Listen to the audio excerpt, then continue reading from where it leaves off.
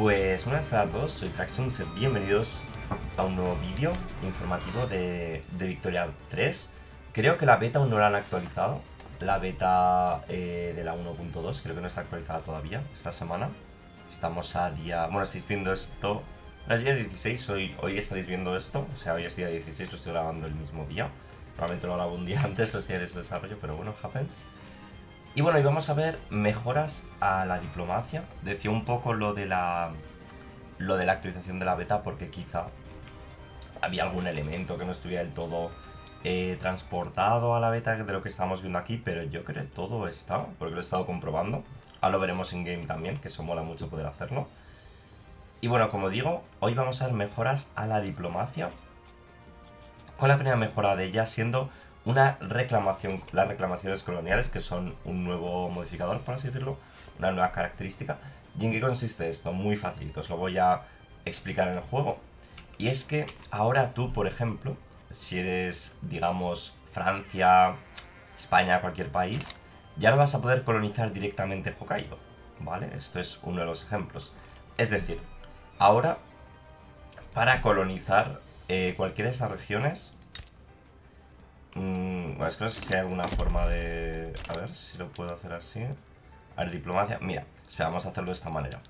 Le voy a colonizar y vemos que no voy a poder colonizar aquí. Que antes eh, se podía eh, colonizar directamente. ¿Y por qué no podemos? Nos dice, no podemos colonizar esta región estatal porque los siguientes países tienen reivindicaciones y mantienen intereses en este lugar. El shogunato japonés y Rusia, ¿vale? ¿Qué significa? Que es únicamente Japón y Rusia pueden colonizar esa región, ¿vale? Y diréis, bueno, me está obligando el juego, ¿no? A que no pueda colonizar esto. ¿Cómo podría yo hacer para colonizar Saharin? Pues tendrías que hacerle una guerra al shogunato japonés. Eh, bueno, le tendrías que hacer una guerra, ¿vale? O sea, declarar, primero de todo, obviamente, eh, declarar un, un interés aquí, ¿vale? Hacerle una guerra a Japón y en la paz le tendrías que pedir la reclamación, ¿vale? Esta reclamación que tiene aquí tanto Rusia como el subnato japonés, necesitas tenerla para colonizar aquí. O sea, es un poco... Eh, ya sabéis que Paradox antes de que fuera a salir el Victoria 3 decía que no quería como meter en raíles prácticamente nada, pero lo cierto es que algunas cosas pues que las tienen que acabar metiendo en raíles, ¿no? Y en este caso pues hay varias regiones pues que lo van a hacer así.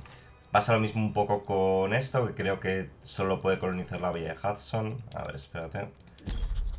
Esto solo puede colonizar la compañía de la Bahía de Hudson. Esto lo podrá pillar solo Estados Unidos.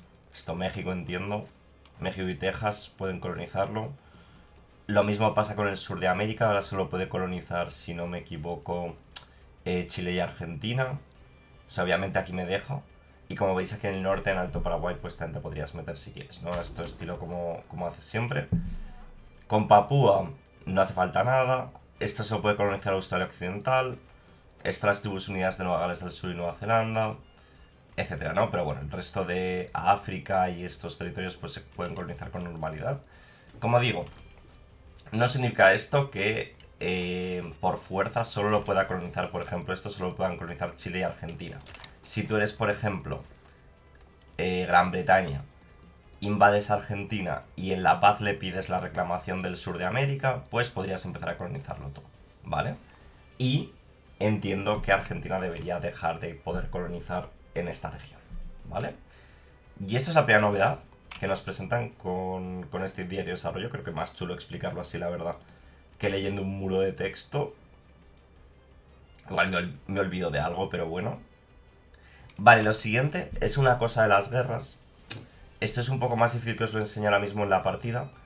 Pero básicamente la idea es que ya no puedes, o sea, puedes, pero han abierto un poco, han bajado las restricciones a la idea de eh, exigir cosas en las paces, ¿vale? Ahora básicamente, si recordáis, hasta ahora en Victoria 3, si por ejemplo Brasil libra una guerra con Argentina, pues el motivo principal de la guerra podía ser el estado de corrientes, ¿no?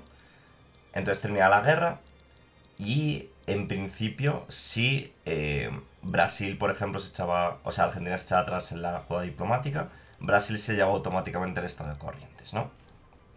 Ahora los países van a poder poner varias reclamaciones principales, que es lo que se perdería si un país se echa atrás en una jugada diplomática, ¿vale? Entonces habrá que tener ahora cuidado con eso, pero básicamente, pues creo que es una buena noticia porque em, en general las guerras siempre son por pocos territorios, pero llega un punto, sobre todo en las fases más tardías de la partida, en la que, oye, en plan, tío, estoy librando una guerra del, del carajo. Por ejemplo, yo me acordé de una partida mía con Italia, o con Grecia incluso, que invadías el Imperio Otomano y, era como, venga, le quitabas una región, a esperar de 5 años y le quitabas otra, y así, porque estaban atrás todo el rato la jugada diplomática. Ahora, para que no sea tan gratis, pues eso, se va a poder reclamar más cosas. Lo cual creo que es una eh, gran noticia, ¿vale? Y aquí lo estamos viendo un poco. Em, tenemos el, las demandas principales. Y aquí tienes como por... Y aquí, por ejemplo, esto es una guerra entre Estados Unidos y, y México, ¿no? Y vemos cómo está reclamando también UTA como reclamación secundaria. ¿Vale? Eso sí, si gasta ciertas maniobras diplomáticas, puede poner UTA como eh, reclamación principal también, para que haya dos reclamaciones principales. Entonces, si México se echase atrás en esta jugada diplomática, pues Estados Unidos se llevaría la provincia de Nuevo México y la provincia de Utah, ¿vale? No se llevaría únicamente Nuevo México. Creo que esa es un poco la idea, creo que se entiende, ¿vale? Y bueno, finalmente hay cambios a la a cómo la inteligencia artificial da la paz y a las mecánicas de hastío bélico. Creo que esto está bastante bien, porque os acordáis hasta ahora en Victoria 3, si tú tenías un país permanentemente ocupado y le quedaba por ahí una provincia random, pues no se iban a rendir nunca porque no tenías ocupado el 100%. Lo que era un poco absurdo, más si tenías ocupada la capital, ¿no? Entonces hay cambios a este respecto. ¿Ves? Por ejemplo, aquí dice que estos cambios no están en la beta abierta. Bueno, eh, el hastío bélico es un ratio en el que tu país, el apoyo al bélico de tu país va cayendo hasta menos 100. Cuando llegará a menos 100, pues el país es forzado a capitular. ¿Vale? Hasta ahora, lo que principalmente te bajaba el hastío bélico era la ocupación del territorio y conseguir los, objetivos bélicos y ocupar la capital. ¿No? Ahora vas a conseguir todavía eh, hastío bélico de ocupar territorio pero el territorio, o sea, la cantidad que consigas de ocupar tus objetivos bélicos y la capital va a ser menor. Y además, ocupar territorio va a escalar de manera no lineal, pero va a incrementar rápidamente cuando el país se vaya acercando a una ocupación completa. Por ejemplo, que un país eh, ocupe totalmente el país de Módena, va a hacer que capitule rápido pero Rusia, por ejemplo, tiene un montón de estados en el Cáucaso. Eh, si están ocupados, pues apenas va a afectar, ¿no? A ver, esto no sé si me mola de todos estos cambios porque había guerras contra Rusia ahora mismo que eran eternas. Tiene pinta que esto se va a alargar más. Dice que lo que principalmente va a conducir al hastío bélico va a ser las bajas y las batallas perdidas. Aquí igualmente igual lo puedes farmear, ¿no? Haciéndole derrotas a, a Rusia, creo que eso está bien. Que tengas que ocupar tanto territorio, me parece en general buen cambio, ¿no? Realmente.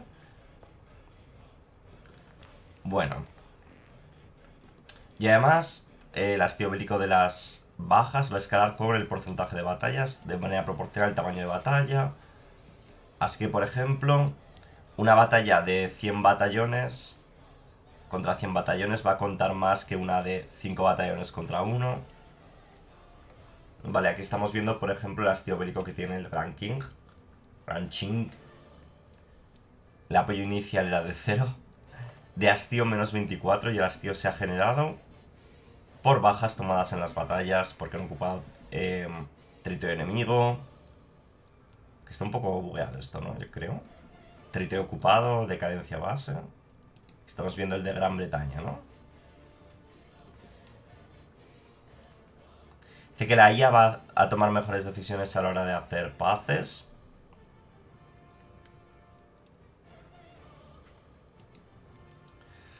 Va a tener más en cuenta qué ángulos tomar cuando una paz vaya a ser o no aceptable. Tiene, por ejemplo, un nuevo factor en cuenta que se llama objetivo de guerra conseguible, que es que la IA va a tener en cuenta si va a poder conseguir o no realmente el objetivo de guerra por el cual está librando la guerra. Bueno, cambios en este aspecto, ¿no? Mira, por ejemplo, aquí Gran Bretaña rechaza la actual oferta de paz por lo siguiente. Que es que todavía tiene bastante fuerza, que la guerra no ha durado mucho, que tiene reservas de oro, tiene malestar, eso le anima un poco a dar la paz. Y pueden conseguir reparaciones de guerra. Se hacen capitular a Ching. Bueno, pues ahí están los cambios. entiendo que va a ser un poquito más difícil darle la paz a la IA ahora, o no va a ser tan gratis. Creo que son cambios positivos en general. Y bueno, como digo, todo esto va a haber que, que catarlo, la verdad, porque yo mismo pues aún no lo he probado mucho. Aunque yo ya digo que voy a esperar a que salga el parche. Incluso me animaría a esperarme a la versión 1.3. Pero bueno, ya lo veremos. Espero que sea de interés este vídeo, chicos. Nos vemos en el siguiente. Chao, chao.